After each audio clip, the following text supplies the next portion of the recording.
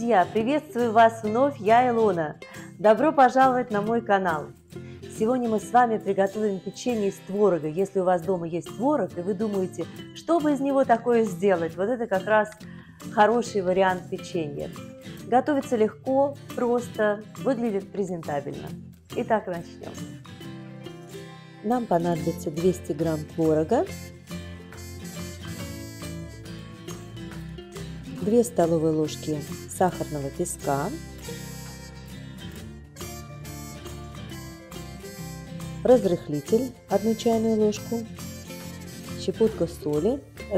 Разрыхлитель придает пышность тесту.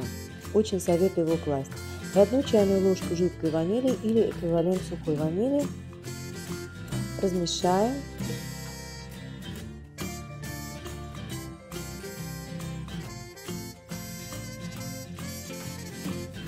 Затем добавим масло растопленное или размягченное при комнатной температуре. Подробный рецепт со всеми ингредиентами будет под видео в описании. И на русском, и на английском языке 200 грамм муки. Мука у меня уже просеянная.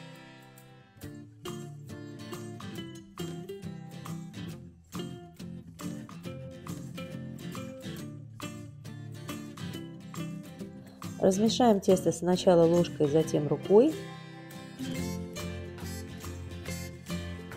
Сделаем колобочек.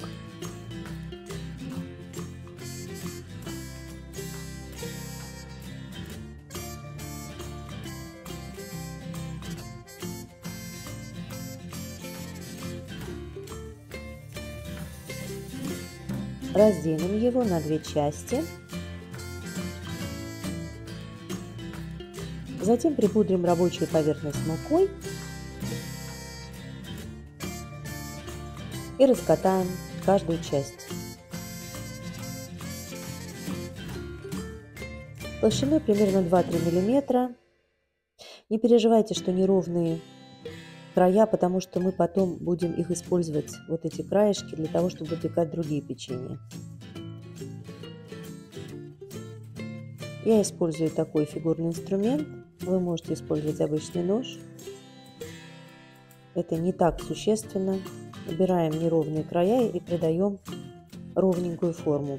А начинка 4 чайные ложки сахарного песка, 1 чайную ложку корицы. Это будет нашей начинкой. Размешаем.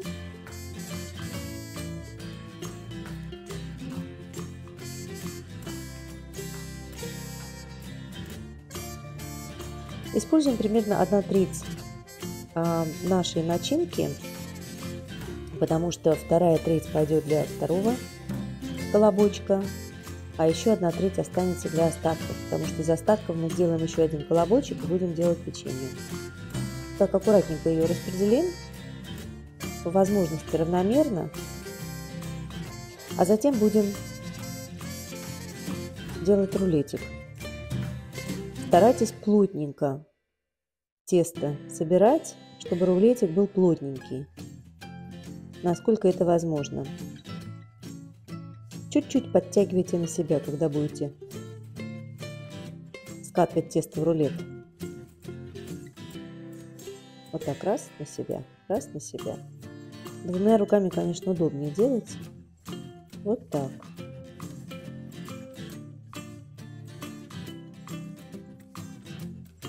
Чуть на себя и вперед, чуть на себя и вперед. Таким образом вы уплотняете рулетик, чтобы он потом у вас не разошелся. Слегка нажимаем. И вот здесь желательно иметь фигурный нож. Если у вас нет фигурного ножа, ничего страшного. Все равно будет вкусное печенье. Вот у меня такой, кстати, фигурный нож. Я его использую для готы тоже. Очень-очень удобный, но он специально изготовлен специально, но я знаю, что онлайн можно купить такие ножи. Вот ребенок уже рядом играется с кухонным гаджетом. И вот так нарезаем печенье. Старайтесь, чтобы они, они были, э, они, чтобы были у вас одинаковые. Затем застелим противень пергаментной бумагой и разложим наше печенье. Смажем яйцом. Я одно яйцо вот так вот слегка перемешиваю вилочкой и смазываю. Некоторые используют только жел желток, некоторые мешают желток со сметаной. Но я считаю, что самый лучший способ это именно целое яйцо, потому что ну куда мы денем потом белок.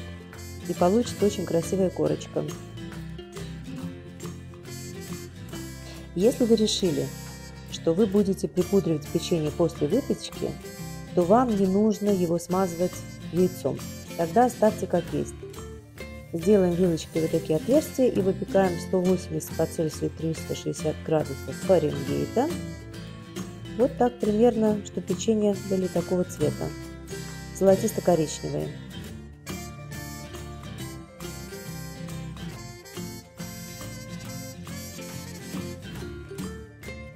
Обратите внимание, как они красиво выглядят, да? И фигурный нож им придает особенную красоту. Я сейчас покажу, как оно смотрится на разрезе.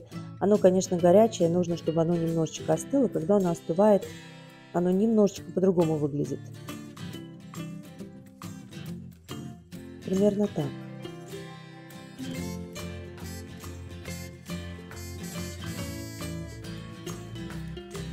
Ну что ж, ставьте, пожалуйста, лайки, я вам буду признательна за это. И подписывайтесь на мой канал. Чтобы получать уведомления о новых видео, не забывайте нажимать на колокольчик, тогда вы будете регулярно получать эти уведомления.